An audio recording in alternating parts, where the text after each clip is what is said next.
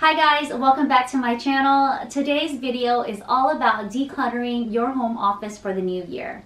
I am pretty sure by now you guys know exactly who Marie Kondo is. She is the author of Tidying Up and Spark Joy, those two eponymous books that have been made into like a Netflix special. If you guys haven't heard of her, I mean, I'm pretty sure you have been living in a cave somewhere, but basically the KonMari method is all about getting rid of things that no longer spark joy or if they don't inspire you in some way, you should declutter your life so that you're not carrying that burden with you. I am all about health and wellness when it comes to your home. My home office has been a place of complete productivity. I mean, I work from home. This is my studio. So not only do I need a clean and efficient space, I need it to inspire me on a daily basis. So I'll be taking you through my home office and it was an absolute mess to begin with. I'll show you my tips and tricks on how to organize each area and declutter your way into a new fantastic year.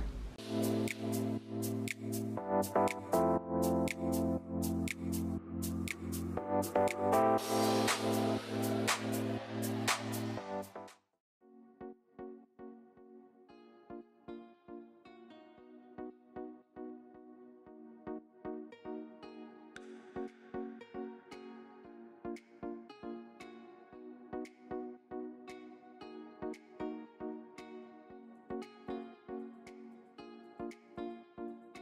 I try not to overwhelm myself, so we're really just gonna tackle the office wall by wall, space by space. We're gonna start with my brass bookshelves. You'll see that it's kind of a collection of everything. I have all of Kamari's baby gear here, you know, some of the things that I received from the baby shower. So these are really decorative items that I love to look at. They, number one, spark joy and they really inspire me on a daily basis, especially when my desk is facing the bookshelf. But clearly, you can see all of this crazy clutter. It's blocking the walkway, it's kind of like strewn all about. So what I want to do is declutter and get rid of all the items that no longer serve me. And then what we'll be left with is a bright, beautiful space that inspires me every day.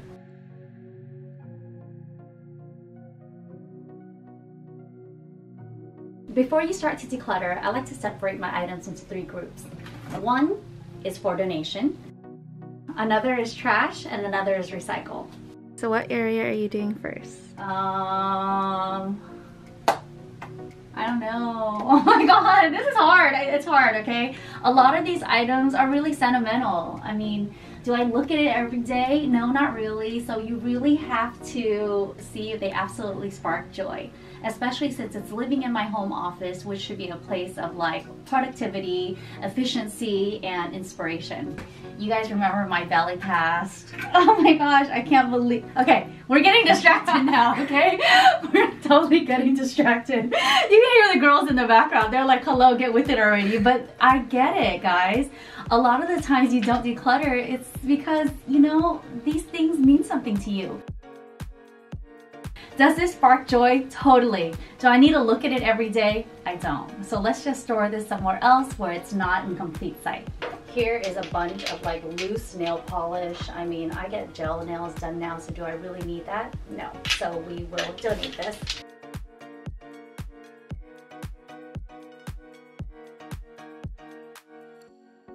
A lot of these interior design books I still reference, but since they're hidden on like the bottom shelf of this bookcase, I think I'll just move it into my library instead.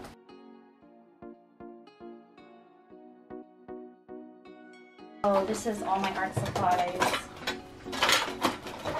Gosh, I was wondering where this went.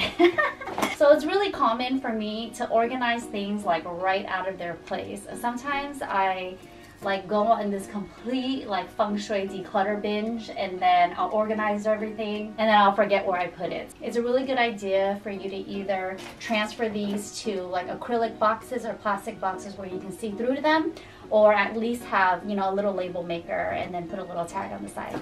After you discard all your items, make sure you clean all the shelves before you put it back.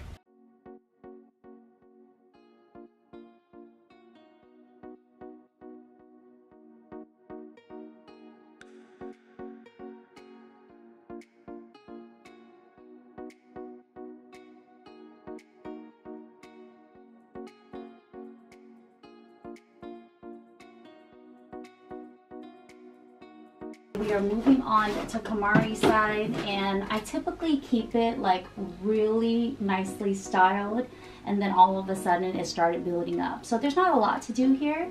We just want to make sure that everything looks tidy and it's not completely cluttered. Although I still reference a lot of these magazines, I kind of just want to move them out of the way so it doesn't look completely cluttered.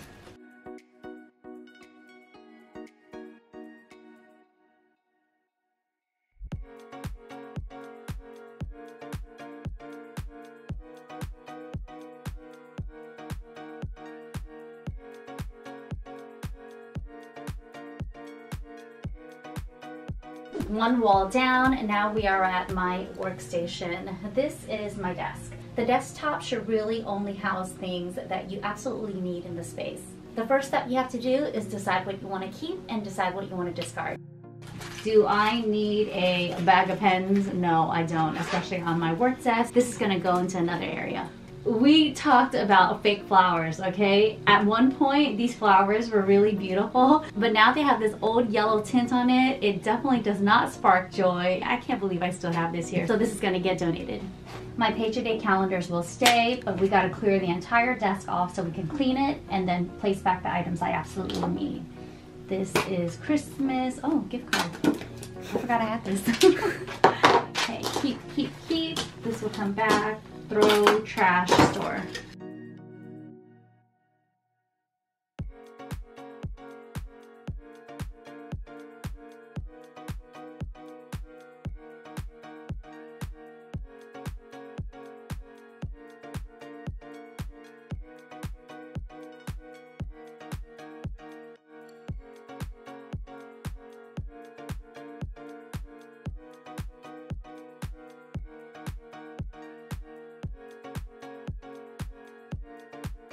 Now that I've cleaned my entire desk, I need to decide what I want from the space. So I've come up with three key terms to keep me on track.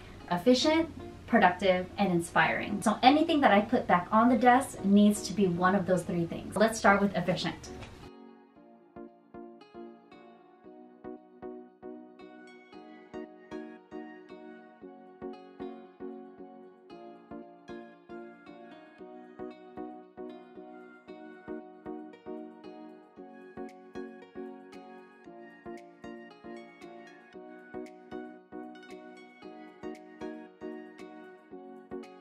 And Dunzo. I mean, it just took probably about 15 minutes to declutter and I was really thoughtful in what I was going to put back. I made sure that each piece helped me be a little bit more productive during my workday and at the very best be very inspiring. So I saved the craziest, worst elevation for last.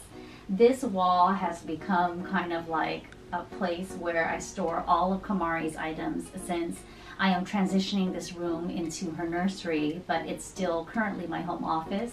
It holds all of like my client folders and a lot of just kind of junk that I've thrown in all of the cabinets just because I had nowhere else to put it. So we'll start discarding each area one by one. I'll decide whether or not each item is efficient, productive, inspiring, and of course overall whether or not it sparks joy. Let's start with the first cubby.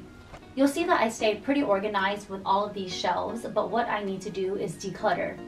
Remove the things that I don't need anymore, trash, donate, or recycle some of the items that don't serve me every day. So some of these, oh, don't know where this went. this is empty. I'm gonna recycle this.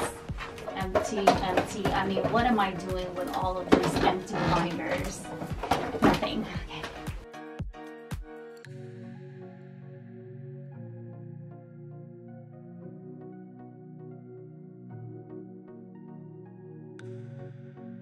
So in less than five minutes, I was able to reorganize this entire shelf. I was able to organize it and declutter it, so these are items that I needed on a regular basis. I might not use it every day, but I have immediate access to it whenever I need it. So this leaves room for my purse and my camera that I use every day.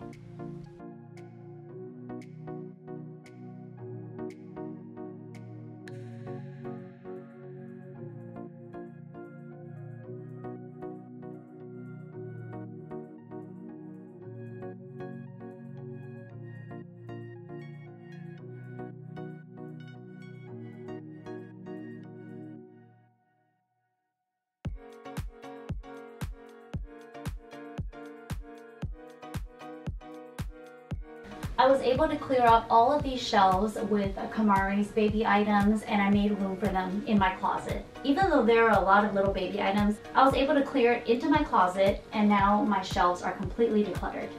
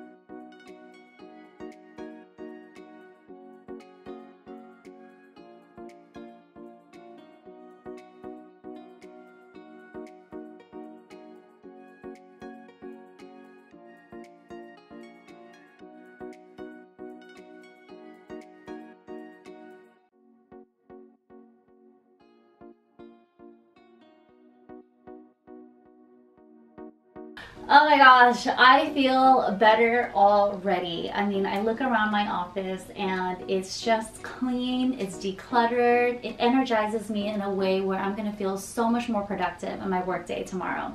I hope you guys got some really good tips on how to declutter your home office the KonMari way. Remember that if it doesn't serve a purpose, if you don't use it every day, or if it doesn't spark joy and inspire you, then you need to get rid of it out of sight, out of mind. If you guys got some great tips from this video, please give it a thumbs up. Comment below if you have any cool tips and tricks on how to organize your home office, and definitely subscribe to my channel. Thank you so much for watching. I'll see you in the next one.